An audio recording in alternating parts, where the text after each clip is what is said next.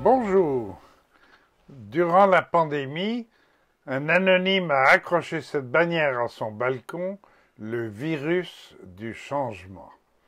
Après et à côté des virus et autres bactéries, il existe des contagions citoyennes, celles qui réclament des changements collectifs, celles qui veulent moins d'injustice et plus d'égalité, moins de privilèges et plus de droits, celles qui viennent de nos demandes, de nos militances et de nos batailles collectives à l'AQDR et dans d'autres mouvements de retraités.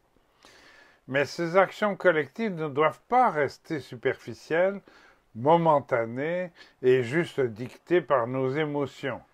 Elles doivent être durables, garanties par des engagements ou des contrats et défendues tout au long de notre vie dans la suite des âges et des générations.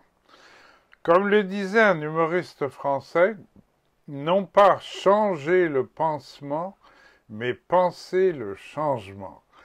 C'est un pensez-y bien.